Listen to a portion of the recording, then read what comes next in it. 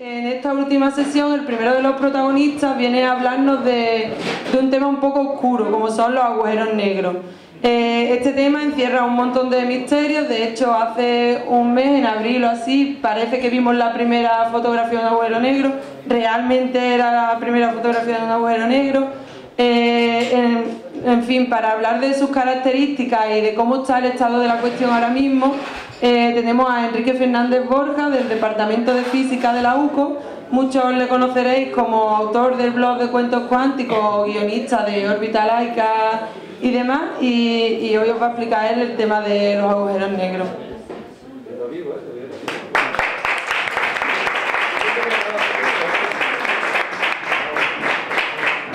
Bueno, hola, eh, buenas tardes y gracias, gracias por venir. Eh, y yo sí, voy a hablar de agujeros negros y bueno, esta es la segunda participación que yo hago en Final Science. La primera fue en Sevilla y siempre me inquieta mucho acudir a un, a un evento científico donde el logo es un cerebro metido en una cerveza. Eh, me, inquieta mucho. Hizo, no lo he traído esta vez, pero hice una composición con imágenes de un cerebro metido en una cerveza y era un poco desagradable, por eso no lo he traído esta vez. Bueno, eh, yo lo que, quiero hablar es un poco eh, sobre el concepto de agujero negro, que es un concepto pues, que a todo el mundo pues, le llama la atención, es una cosa muy interesante y lo que me gustaría hacer es un recorrido histórico por los aspectos desde el origen del concepto, del concepto de verdad, del siglo XVIII ya se empezaron a hablar de estrella oscura y tal, pero nosotros vamos a, centrarnos a partir del siglo XX, que es cuando, cuando el concepto de agujero negro empezó a tener importancia. Y por supuesto para empezar a hablar de agujeros negros pues hay que hablar de este señor un poco, que es, eh, bueno, el Tito Alberto, Albert Einstein, y este señor pues se decantó, eh, revolucionó la física en 1905, escribió cuatro artículos que empezaron a abrir caminos nuevos para la física, la física cuántica, la relatividad, etcétera, etcétera. Pero lo interesante, uy, perdón, lo interesante es que eh, en el 25 de, de noviembre de 1915 lo que propuso fue una nueva teoría gravitatoria. Esto no es baladí porque eh, teniendo en cuenta que el primero que propuso una teoría gravitatoria fue Isaac Newton, pues echarle huevo a Newton y decir, estás equivocado, voy a hacer una teoría mejor que tú, pues no era, no era del todo eh, trivial. Entonces este señor lo consiguió y lo que aprendimos en su imagen de la gravedad fue que la gravedad no es una fuerza tal y como la conocemos de tirones, de te atraigo, te, te repulso, te repulso, te repelo, te repelo, muy bien bueno, ¿sabes? Eh, es que soy de ciencias. Eh, entonces, eh, la cuestión está en que nos dijo en realidad que la, que la gravedad era más, que, más que nada la curvatura del espacio-tiempo respondiendo ante, el contenido de energía presente en el espacio.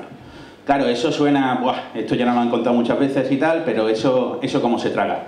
Bueno, pues se traga de muchas maneras. Una es ponerse y hacer las cuentas y uno se convence desde el punto de vista matemático en que eso tiene que ser así, pero como no tenemos tiempo para desarrollar eso, necesitaríamos una hora y media, más o menos, pues me gustaría que vierais esta imagen donde aquí vemos un objeto central que es una cosa, un, un bolondro amarillo, es una galaxia, y alrededor, si podéis observar, hay un anillo azul que está ahí, esto se ve, es una imagen real de un telescopio, es del Hubble. Entonces, claro, eh, esto en realidad es una manifestación absoluta de que estamos viendo el espacio-tiempo curvarse alrededor de esta galaxia de aquí. ¿Por qué? Pues porque este anillo que estamos viendo azul en realidad es otra galaxia que está por detrás de la que estamos viendo en el centro. Claro, eso es impresionante, porque en principio si alguien se pone detrás mía y es más pequeño que yo, pues no, no lo veríais, porque los rayos de luz se suelen mover en línea recta, los rayos de luz que rebotan en ese objeto chocarían contra mí y vosotros no seríais capaz de verlo. Es, bueno, este es el fundamento de, jugar al escondite. Sin embargo, si tenemos un espacio-tiempo curvo, la cosa se complica para jugar al escondite porque lo que pasa es esto de aquí. Nosotros tenemos nuestros telescopios, tenemos el primer objeto y nosotros tenemos un objeto detrás mucho más pequeño que en principio no deberíamos ver. Sin embargo, la luz que se tiende a moverse en línea recta, lo que hace es que cuando pasa alrededor de este objeto, si atendemos a lo que nos dice Einstein, el espacio-tiempo está curvado a su alrededor y los rayos de luz pasan y abrazan la curvatura que está rodeando este objeto de aquí. ¿Qué ocurre? Que los rayos de luz que salen por aquí, muchos de ellos colisionan por ahí, entonces esos los perdemos, pero otros lo que hacen es que se desvían y son capaces de llegar a nuestros telescopios. Pero evidentemente la cuestión está en que no llegan tal y como es ese objeto, sino que nos llegan deformados. Es como si aquello fuera una lente. ¿Me explico? Eso se llama lente gravitatoria. Y entonces lo que se ve es, este anillo de aquí es el objeto que está por detrás, lo que pasa es que lo vemos deformado. Claro, una imagen como esta es absolutamente bestial porque lo que estamos viendo de verdad es la curvatura del espacio-tiempo. Pero no nos hemos quedado ahí, sino que además, si uno atiende la teoría de, eh, la relatividad general de Einstein, nos dice que en determinadas situaciones el espacio-tiempo tiene que ondularse, se tiene que producir un movimiento ondulatorio en el propio espacio-tiempo. Pero eso ya lo hemos visto, lo vimos hace un par de años, ya fue la primera vez que detectamos ondas gravitacionales y hemos sido capaces de ver la curvatura oscilante del espacio-tiempo cuando pasa una onda gravitacional. Es decir, hemos sido capaces de ver cómo el espacio-tiempo no es algo estático, sino que es algo que de verdad su geometría se adapta a la energía y el contenido energético que existe en su interior y en determinadas situaciones es capaz de oscilar. Luego volveremos a esto. Entonces, lo que eh, quiero dejar claro aquí es que no cabe ninguna duda que si atendemos a este artículo, que está escrito, aquí está 25 de noviembre de 1915, ese es el artículo donde por primera vez se pusieron de manifiesto las ecuaciones de la relatividad general. Y era la buena época, ¿eh? cuando la física se escribía en alemán, no como ahora que se escribe en inglés, que es fácil. Bueno, para nosotros mejor, porque si tuviéramos que aprender alemán para publicar artículos estaríamos perdidos. Ya con el inglés nos las vemos canutas. Entonces, bueno, pues eso, ahí, ahí es un bonito artículo que os recomiendo su lectura, en alemán, por supuesto. Bueno, las ecuaciones se pueden leer, son letras universales. Bueno, pero seguimos. Lo siguiente es otro artículo en alemán, pero esta vez me gustaría, bueno, me gustaría que vierais, 25 de noviembre de 1915. Es la primera vez que se ponen en, al público, que se exponen al público en general en una revista científica, muy importante, eh, las ecuaciones de la relatividad general. Y ahora nos fijamos en este. Este señor del bigote gordo es Schwarzschild eh, un alemán, otro alemán. Este escribió este, Über Gravitationsfeld eines... En fin, es sobre el campo gravitacional de eh, sistemas con simetría esférica. Ojito, la fecha es, no está aquí, aquí, 13 de enero de 1916. Es decir, pocos días después de que se publicaran las ecuaciones de la relatividad general, lo que hizo este señor fue resolver la primera solución exacta de la relatividad general no es baladí porque la relatividad general consta de 16 ecuaciones que son muy difíciles de, resolver y este señor dio una solución exacta, que es cuál es el campo gravitatorio que existe alrededor de un cuerpo esférico, como por ejemplo nuestro Sol en primera aproximación es, una esfera que eh, genera gravedad. En este artículo ocurre, ocurre una cosa interesante y es que en, un determinado, en unas determinadas circunstancias si la masa del cuerpo este esférico que está generando la gravedad está por debajo de una determinada distancia, se genera un agujero negro, se genera una región a partir de la cual ya no se puede salir al exterior. Claro, esto puso contentísimo a todo el mundo, en realidad no, todo el mundo dijo esto no puede ser, eh, la naturaleza tiene que aborrecer esta solución porque no se pueden dar situaciones en que la luz no pueda escapar y esto tiene que ser una, cuestión pues absurda, esto no puede darse en la naturaleza. Bueno, hay que remarcar que es interesante que esta es la primera vez donde este señor, Svarchi, eh, habla de agujeros negros es interesante también que solo publicó este artículo justo días después de que se publicara el artículo de la relatividad general de Einstein, y es interesante porque este señor hizo este artículo y encontró esa solución en las trincheras de la Primera Guerra Mundial. O sea que luego murió, pero le dio tiempo a resolver las ecuaciones. Murió por una fiebre, ¿eh? no, no, murió por, bueno, una, una fiebre evidentemente producida porque el estado de las trincheras no era lo más salubre del mundo pero también tiene un poquito de gracia que fuera este el primero que nos dio el concepto de agujero negro, porque eh, si traducimos su, em, su apellido del alemán es escudo negro, o sea que estaba predestinado a hablarnos de agujeritos negros. Entonces, para entender lo que son agujeros negros nos tenemos que parar un poco a pensar cómo se comporta la luz en la teoría de la relatividad. Para eso quiero introducir esto que es lo que se conoce como el cono de luz. Y así que permitidme que os ponga un ejemplo. Imaginemos que nosotros tenemos una máquina que es capaz de lanzar un flash de luz, un flash, ¿eh? Y ahora somos capaces de ir viendo cómo ese flash, que en principio será una superficie esférica que, será, que se irá abriendo, ¿no? O sea, empezará en la bombilla y se irá expandiendo de manera esférica. Todo el mundo ve eso claro en su mente, ¿no? Si nosotros fuéramos capaces de tomar fotos de ese flash, de ese frente luminoso a distintos tiempos, lo que tendríamos es que la esfera va aumentando su radio en una proporción de la velocidad de la luz por el tiempo. ¿Sí? Esto todo el mundo lo ve, más o menos. Se va haciendo más grande y se va agrandando la velocidad de la luz. Mejor así, ¿no? Claro, si nosotros ponemos eso en un, en, un, en un, dibujo de cuatro dimensiones, nosotros veríamos en cada instante de tiempo una esfera que se va agrandando. Como no sabemos pintar en cuatro dimensiones, lo hacemos en tres y lo que vemos es que en vez de una esfera lo que vemos son círculos que se van agrandando a partir del punto, aquí es donde se emite la luz y la luz va aumentando hacia arriba. ¿Sí? Esto se llama cono de luz. Y esto es un objeto súper importante en relatividad especial. ¿Por qué? O en relatividad en general. ¿Por qué? Porque eh, en la relatividad nos dice que la velocidad de la luz es la misma para todos los observadores independientemente de cómo se estén moviendo. Especialmente si te están moviendo en línea recta y a velocidad constante, la velocidad de la luz es la misma para todos. Eso quiere decir que si yo dibujo este cono de luz, como está formado por luz y tiene que ser la misma para todos nosotros, cuando yo os pidiera a vosotros que dibujarais ese cono de luz, lo dibujaríais exactamente igual. Pues eso es que es invariante para todos. ¿Eso todo el mundo acepta eso? Sí. Pero una cosa más, la teoría, si desarrollamos la matemática, nos dice que si yo tengo este objeto, que tiene una determinada masa, aquí en reposo, si yo lo lanzo, jamás podré lanzarlo a una velocidad igual a la velocidad de la luz en el vacío. Eso quiere decir que las partículas que tienen masa se tienen que tener trayectorias que estén contenidas siempre dentro del cono. Si pudiera lanzar algo a una velocidad superior a la velocidad de la luz, la trayectoria saldría fuera del cono. Y eso está prohibido para partículas que tienen masa. ¿Estamos de acuerdo? ¿Sigo? Bien, ahora, cuando nosotros hemos hablado de que la gravedad nos dice que el espacio-tiempo se curva, claro, lo primero es entender que es un espacio-tiempo plano. Y por espacio-tiempo plano nos podríamos poner a sacar ecuaciones y sería muy divertido, lo gozaríamos un montón, pero con el cono de luz lo veríamos muy claramente. Si alguien nos da y dice, mira, he calculado los conos de luz en todos los puntos del espacio-tiempo, y la imagen que me ha salido es esta de aquí. Y nosotros, que somos muy perpicaces, decimos, todos los conos de luz están orientados de la misma manera están todos orientaditos de arriba abajo, ¿sí? O sea que la luz se movería y todo se movería de aquí hacia arriba, ¿sí? Claro, si todos los conos de luz están orientados de la misma manera y no se deforma ninguno, a eso lo llamamos un espacio-tiempo plano. ¿Qué ocurre si nos dan otro espacio-tiempo, por ejemplo este, donde los conos de luz veis que están achatados o que están girados unos respecto de otros? Si nosotros vemos esto, decimos, quieto, esto no es un espacio-tiempo plano, esto es un espacio-tiempo curvo. Así que viendo la estructura de los conos de luz, no solo es un objeto muy interesante para determinar a qué velocidad te puedes mover en el espacio-tiempo, sino que viendo la estructura de los, de los conos de luz en cada punto del espacio-tiempo, podemos determinar si un espacio-tiempo es plano o es curvo. ¿Por ahí voy bien? Sigo, ¿no?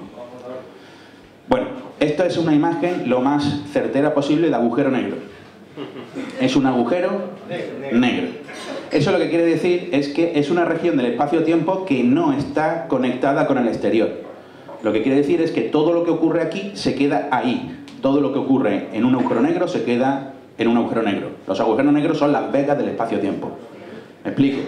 Entonces, quiere decir, yo por aquí puedo hacer cosas. Puedo tirar luz hacia afuera, hacia adentro, me puedo ir hacia allá, puedo acercarme, puedo alejarme pero si estoy aquí dentro no puedo salir para afuera. La geometría del espacio-tiempo me condena a quedarme dentro. Así que un agujero negro es una región del espacio-tiempo que está desconectada de todo lo que le rodea. Claro, ahora diréis, bueno, esto ya que sabemos tanto de conos de luz, mejor lo vemos con conos de luz. Pues veámoslo con conos de luz, perdón. Fijaos, si yo estoy muy lejos, esto es el agujero negro. Si yo estoy muy lejos del agujero negro, y esto cualquiera que haya estudiado en el instituto, gravedad, sabe que si nosotros estamos muy lejos del objeto que genera la gravedad, la gravedad es prácticamente nula, porque os recuerdo que la ley de Newton nos decía que la gravedad va como 1 partido de r al cuadrado.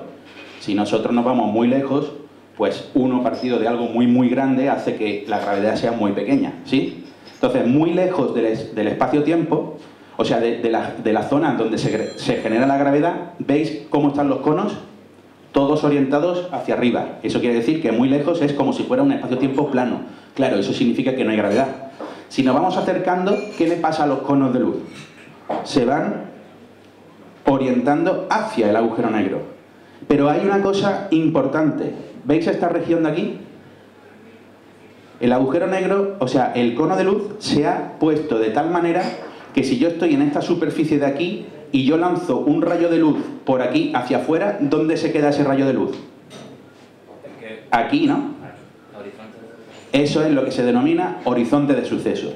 Y resulta que, como todo se tiene que mover por dentro de los conos de luz, Si nosotros estamos dentro, en ese punto, nosotros podemos mandar cosas hacia adentro, pero ¿podemos mandar cosas hacia afuera? No, porque para mandar cosas hacia afuera tendríamos que mandarlas a una velocidad superior a la velocidad de la luz. ¿Lo veis? Eso que delimita el horizonte de sucesos es la región a través de la cual, si tú la traspasas, ya no puedes salir. Tú puedes estar por aquí fuera y en algún momento, si tienes los cohetes lo suficientemente gordos, bien, pues lo enciendes y te puedes escapar. Pero si estás aquí, pues ya solo hay un camino de ida, que es hacia adentro. Pero no solo eso. ¿Veis lo que pasa cuando entramos dentro del agujero negro? Lo que le pasa a los conos de luz. Los conos de luz se ponen horizontales. Eso quiere decir que estás condenado a irte hacia el centro del agujero negro en el futuro. No hay salida. Todas las direcciones de entrada y de salida apuntan hacia el mismo sitio, que es esto de aquí que se denomina singularidad del agujero negro. Guau, ¿eh? Qué guay. Claro, ¿cómo se calcula cuán de grande es el horizonte de sucesos? Bueno, eso ya lo calculó Schwarzschild, en sus fórmulas sale esta cantidad, es el radio del agujero negro, es básicamente proporcional a, la masa. G es una constante, que es la constante de la gravitación universal de Newton, C es una constante, que son los 300.000 km partidos por segundo, la velocidad de la luz en el vacío, con lo cual eso pues, nos da igual. Lo que quiere decir es que si yo tengo un cuerpo de una masa muy grande, el radio de Schwarzschild será muy grande. Y si la masa es pequeña, el radio será pequeño. Más o menos. Salvo los valores de la constante, pero como eso depende del, sistema de unidades, pues nos da igual. Eso quiere decir, por ejemplo, que si nosotros quisiéramos hacer un agujero negro con la masa de la Tierra, tendríamos que comprimir toda la Tierra en un radio que estaría por debajo de los milímetros. Si nosotros quisiéramos hacer un agujero negro con la masa del Sol, tendríamos que comprimir toda la masa del Sol a un radio por debajo de los 3 kilómetros. O sea, todo nuestro Sol lo tendríamos que comprimir en un radio por debajo de los 3 kilómetros. Y entonces tendríamos un bonito agujero negro de la masa del Sol. Sí, ¿no? No es una buena idea. Eh, si seguimos un poco para adelante, os fijáis aquí, en 1939, o sea, sí, aquí, en 1939, pues esto es un, artículo interesantísimo de eh, Robert eh, Oppenheimer y y Snyder, eh, que es estos dos, Oppenheimer y Snyder, que publicaron un artículo que cerró una discusión importantísima, y es que la gente decía, bueno, esto del agujero negro no puede existir, no puede haber nada que se trague todo, que no salga la luz, esto no puede ser, sobre todo el Alberto Einstein este que estaba totalmente en contra de los agujeritos negros, no le gustaba nada la idea. Esta gente cogió y dijo, bueno, pues vamos a ver si se puede eh, evitar, y si es verdad lo que dice la gente, que cuando tú intentas colapsar una estrella, se produce un rebote que impide la formación de un agujero negro.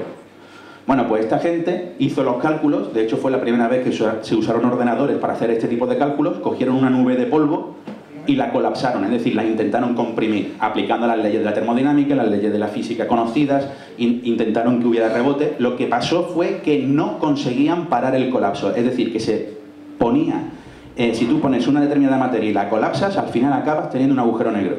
Y eso fue un resultado incontestable. Es decir, demostraron en ese artículo que la formación de agujeros negros no se podía parar. Si tú tienes una determinada masa y la contraes por debajo del radio de Schwarzschild, eso se puede hacer y además eh, siempre se genera un agujero negro. Es decir, los agujeros negros tienen que existir, al menos teóricamente. Os quiero llamar la atención también a la fecha en la que se publicó este artículo. 1 de septiembre del 39. Esto fue cuando los alemanes estaban entrando por Varsovia y empezó la Primera Guerra Mundial. Este artículo, bueno, este señor de aquí fue el jefazo científico del proyecto Manhattan, que fue el que generó las dos bombas atómicas que acabaron con la Segunda Guerra Mundial. Una de las bombas atómicas estaba hecha con uranio y la otra estaba hecha con polonio. El uranio, tú pones una masa de uranio y le metes petardos y si tiene la suficiente masa, alrededor de unos 6 kilos, aquello genera una reacción en cadena. Con el polonio no ocurre lo mismo, tendrías que poner muchísimos kilos pero entonces la bomba no sería viable llevarla en un, avión. Y entonces lo que dijeron es, un momento, vamos a utilizar los cálculos que hizo este señor para este artículo y vamos a tener una masa pequeña de polonio, pero la vamos a comprimir, intentando formar, entre comillas, un agujero negro y a ver qué pasa. Y lo que pasó fue que explotaba. Que se lo pregunten los de Nagasaki.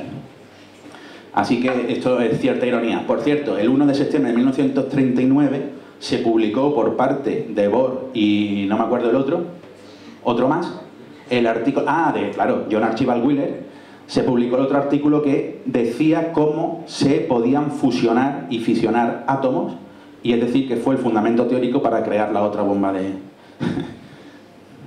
la otra bomba nuclear. El 1 de septiembre del 39 fue un día chachipiruli. Entonces, seguimos con esto y los rusos seguían empeñados en que no se podía, en que todos estos cálculos que se habían hecho, tanto el de Barchi como el de Oppenheimer y Snyder, tenían una característica importantísima y era que todo, era, eh, todo tenía simetría esférica, es decir, todo estaba muy repartidito en esferas. Eso quiere decir que eran situaciones altamente simétricas. Y hubo una escuela rusa que dijo, pero en la naturaleza no hay esferas perfectas y a lo mejor si nosotros introducimos asimetrías, pues puede ocurrir que no se formen agujeros negros. Y dijeron, pues vale. Y así estuvieron durante 20 años trabajando sobre eso. Hasta que llegaron estos dos personajes, que uno supongo que lo conoceréis mucho, que es Stephen Hawking, que se murió, y Roger Penrose, que todavía no ha muerto. Pero estos, estos chavalines empezaron a generar resultados matemáticos demostrando demostraron con teoremas que si la relatividad general es correcta, entonces la formación de agujeros negros es inevitable independientemente de la situación de partida.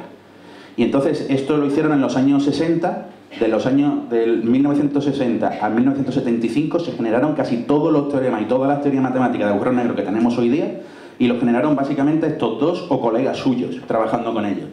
Así que estos dos son una de las piezas fundamentales para conocer cómo se desarrolla la teoría matemática de los agujeros negros y en fin, generaron una multitud de teoremas que se conocen como teoremas de singularidad y generaron unas herramientas matemáticas súper guapas que nos da igual. Pero uno de los resultados interesantísimos de esto fue que Esto es guay porque la gente que trabaja en estos temas le, gusta poner em, nombres graciosos. Uno de los teoremas importantes es el teorema de la ausencia de pelo, que literalmente dice los agujeros negros no tienen pelo. sí, se da el chiste, ya la chanza, pero lo que quiere decir es una cosa interesante. Lo que quiere decir es que los agujeros negros no tienen características distintivas. Eso quiere decir que si yo tengo una estrella de una determinada masa y la comprimo por debajo de su radio de Schwarzschild, yo acabaré con un agujero negro. Ahora supongamos que tenemos una masa idéntica, pero de elefantes. Y no tenemos ningún reparo en comprimir todos esos elefantes. Bueno, ya sabéis a lo que me refiero. Y generar un agujero negro. Llevamos todos esos elefantes por debajo de su horizonte de sucesos y lo que generamos es un agujero negro. Los dos agujeros negros estos, eh, la única característica que tienen es que tienen una masa m, que es la masa inicial de la que hemos partido. Ahora, si os dan este agujero y este agujero, y os dicen, mirad, estos dos agujeros, ¿cómo son? Decís, idénticos. Si os preguntan, uno lo hemos hecho comprimiendo una estrella y el otro lo hemos hecho comprimiendo elefantes. ¿Cuál es cuál? No lo podemos saber. ¿Por qué? Porque los agujeros negros no tienen características distintivas. Es decir, los agujeros negros no tienen pelo. Esto es una cosa importante, porque los agujeros negros se convierten entonces en los sistemas más simples del universo. Son sistemas muy aburridos. Nada puede escapar, no se distinguen dos agujeros que tengan la misma masa, son indistinguibles y además no sabemos de dónde vienen, no sabemos si lo hemos hecho con sartenes, con estrellas o con, o con hojas de papel, no lo podemos saber y entonces pues ya está, hemos acabado. Bueno, hemos acabado hasta que aparece este señor, que es Jacob Bekenstein, que la lió parda en el 72. Este señor fue este señor eh, con el cual desarrolló una amistad, ya, no, porque se ha muerto también. Estaba en Israel. Eh, bueno, ahí estaba en Princeton, pero, pero luego se fue a Israel porque era judío sefardita, hablaba un castellano raro. Y bueno, su mujer también hablaba castellano, habla castellano bien, no del siglo XVI. Eh, pero este me dio una alegría y es que cuando publiqué el primer, mi primer artículo sobre agujeros negros, sobre entropías y cosas de esas, ahora, ahora hablar del tema, al, poco de publicarlo recibo un, un, mail de este señor diciéndome que le encanta lo que he escrito. Digo, y a mí me encantas tú. Y, y quiero casarme contigo, Jacob. Pero, bueno, no, pero ya nos carteamos eso, nos conocimos y tal. Bueno, no os contaré mis vidas. Bueno, pues este señor, eh, en contra, de todo, en, contra de, todo el mundo, publicó este artículo donde demostraba o insinuaba, bueno, no, él, demostraba, los demás no se lo creyeron, evidentemente, que los agujeros negros tienen una, una cosa que se denomina entropía. Hostias. Bien, vamos a hablar de la entropía. ¿Veis este dibujo? Esto es un sistema físico, pues un vaso, un, vaso de precipitado o lo que sea, donde la mitad está roja y la mitad está amarilla. Eh, ¿Lo veis, no? Sí, igual. Está clarísimo. Ahora supongamos que nosotros sabemos que la materia está constituida por átomos, por moléculas y tal, y vamos a suponer que estos átomos y estas moléculas tienen dos estados, ser rojo y ser amarillo. Entonces, si tuviéramos un microscopio muy gordo y pudiéramos ver la constitución elemental de eso, los átomos y las moléculas que componen eso, nosotros encontraríamos esta disposición. Se ve claro, ¿no? Todos los rojos están a un lado y todos los amarillos están a otro. Esa es la única combinación de estados rojo y amarillo que me dan lugar a esto que yo veo desde fuera en mi vaso. ¿Está claro eso? Claro, yo puedo reordenar muchos, muchas bolitas de esas para tener la misma situación. Pues la verdad es que no, esa es la que hay y ya está. Pero ahora supongamos que nosotros dejamos evolucionar el sistema y si inicialmente estaba rojo y amarillo y si dejamos evolucionar el sistema, resulta que al final está naranja. ¿Sí? rojo y amarillo de naranja. Lo que significa es que los átomos o moléculas se han ido mezclando entre sí. Ahora, ahora bien, si nos vemos cómo es la constitución elemental de este sistema, vemos que hay mezcla de rojo, amarillo, rojo, rojo, amarillo, rojo, amarillo, amarillo, ¿lo veis? Claro, eso desde fuera te da la impresión de que es naranja. Esto si no lo creéis os vais a un cartel publicitario que desde fuera se ven los colores muy, muy vivos, pero si os acercáis está hecho con puntitos rojos, azules y verdes. Y entonces, claro, ahora la pregunta es, ¿de cuántas maneras puedo reordenar rojos y amarillos para seguir viendo el mismo naranja? De muchas. Eso quiere decir que los sistemas tienden a reordenarse de manera que tú puedas tener muchas combinaciones de sus constituyentes elementales que te den la misma apariencia desde fuera. Eso se traduce en que hay muchas más configuraciones de rojo y amarillo que te dan naranja que configuraciones de rojo y amarillo que te dan rojo y amarillo. ¿Me explico? Entonces a eso se le pone un nombre. Al número de configuraciones que te dan una determinada apariencia macroscópica desde fuera se le llama entropía. En realidad es el logaritmo de eso. Pero ¿cuál de las dos situaciones, esta o la otra, tendrá mayor entropía? Pues aquella que tenga mayor eh, número de posibilidades para generar lo que yo estoy viendo. Así que esta situación tiene más entropía que la anterior. Y seguramente, si habéis ido al instituto o habéis hecho alguna carrera científica o habéis leído algo, o si no, lo digo yo, en la naturaleza hay una ley que se llama la segunda ley de la termodinámica que, dice que la entropía de un sistema siempre tiene que aumentar. Y aquí se ve claro. Si tú estás en esta situación... Uy, perdón. ¿La he Ahora. Si tú estás en esta situación inicial que tiene una entropía pequeña y lo dejas que se mezcle, ¿a qué tiende? A mezclarse todo y a que aumente el número de configuraciones que se te dan esta situación final. Por tanto, hemos pasado de una situación de baja entropía a una situación de alta entropía. La entropía tiene que crecer en el sistema. ¿Sí? ¿Me compráis esto? Bueno, pues Bekenstein lo que hizo fue decir, los agujeros negros tienen que tener entropía. Que está muy bien. Y además dijo, y más o menos tienen que ser el área del horizonte de suceso. Y dijo todo el mundo, pues está bien, salvo por un detalle. Esto puso muy nervioso a Stephen Hawking. Bueno, ahora volvemos a eso. ¿Por qué? Porque hay otra cosa en la termodinámica que es indefectible. Y es que si un sistema tiene entropía, necesariamente, necesariamente, obligadamente, tiene que tener temperatura. Pues vale, pero hay otra ley más. Y es que si algo tiene temperatura, entonces tiene que estar emitiendo radiación electromagnética. Por ejemplo, nosotros que estamos más o menos a 36 grados, el que más y el que menos, estamos emitiendo en infrarrojos. ¿Habéis visto las fotos estas térmicas que nos hacen que las orejas están azules, la nariz roja y no sé qué? Eso es lo que está detectando es la radiación que sale de tu cuerpo por tener una determinada temperatura.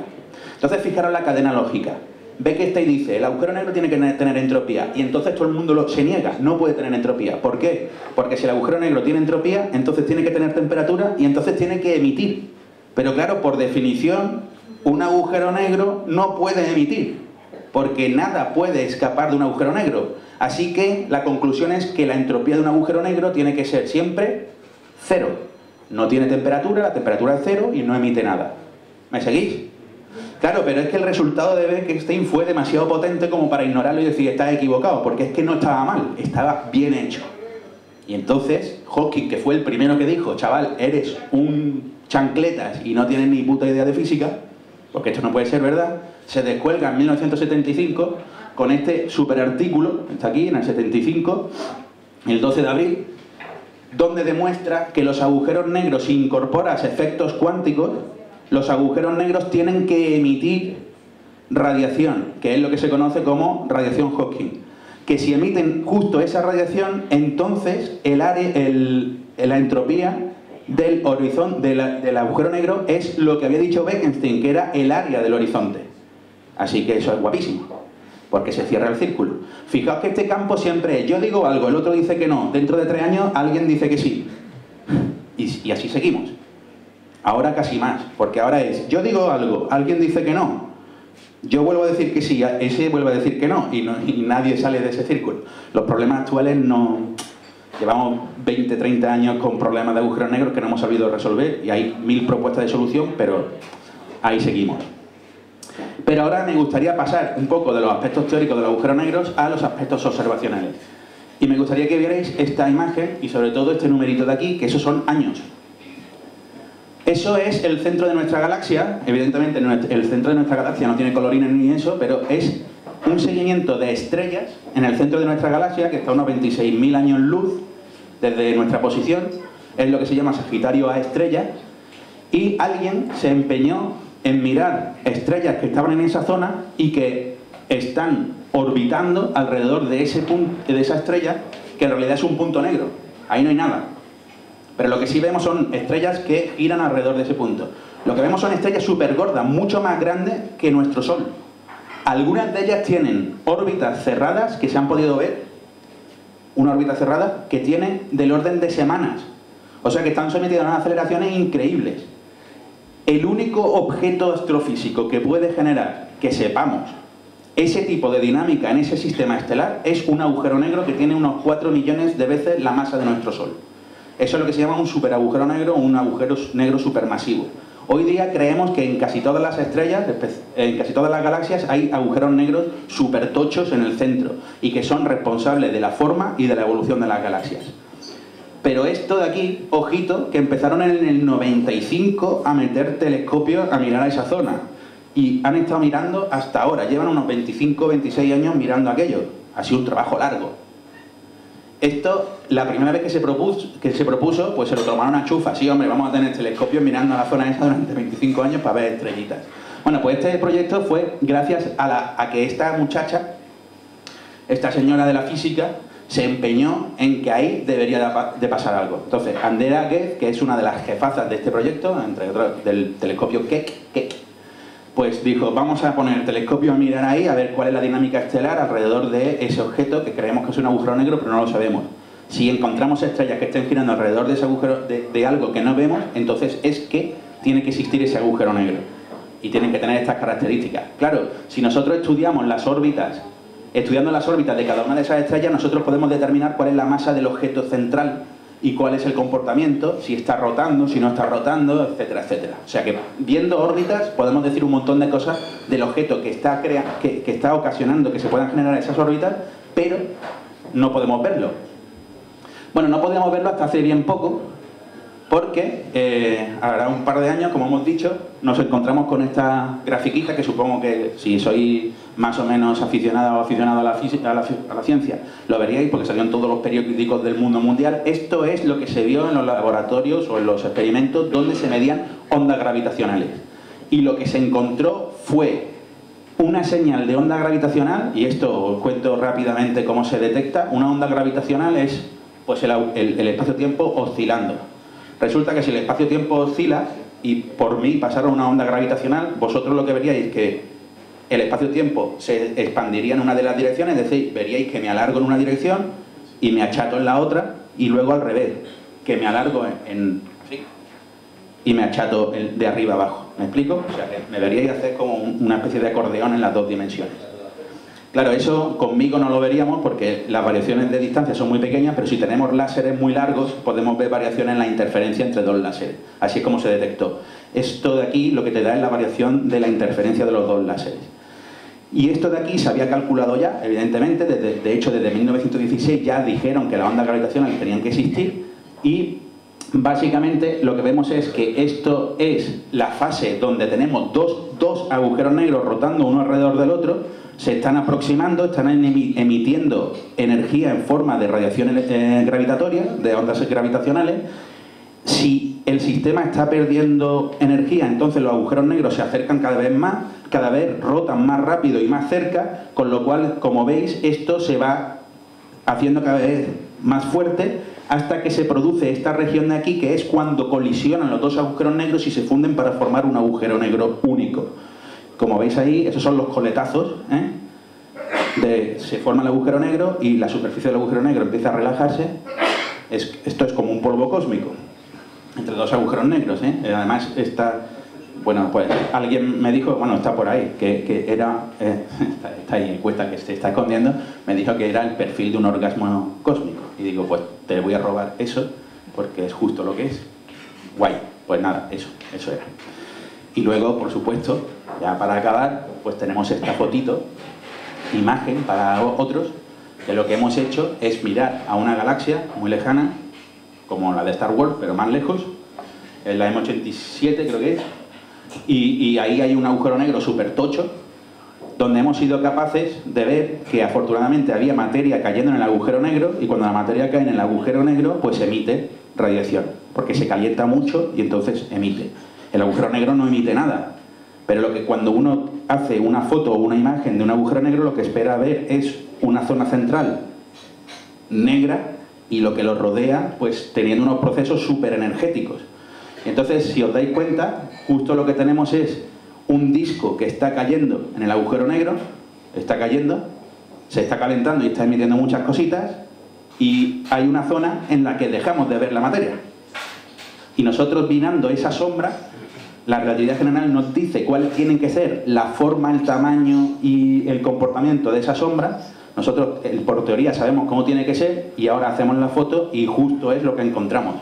Por eso se dice que eso es la imagen de un agujero negro, es que es lo que es.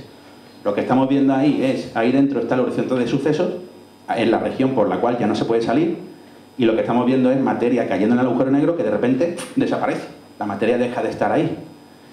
Y entonces esto lo único que quiere decir es que nosotros somos muy pesados, llevamos ya un siglo pensando sobre agujeros negros, alguien dijo no se van a poder detectar jamás y ahora tenemos cinco formas de detectar agujeros negros, porque he, dejado dos más, sin contar que involucran espectros atómicos y cosas así, pero eh, era más largo de contar.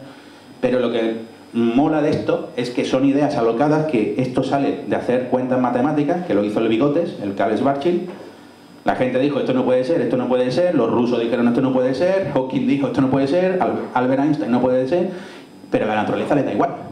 Afortunadamente luego hay otras personas que dicen, bueno, si sale de aquí, vamos a ver si puede ser o no. Y, si, al final va y hacemos fotos de eso. Esto es guapísimo. Así que, muchas gracias.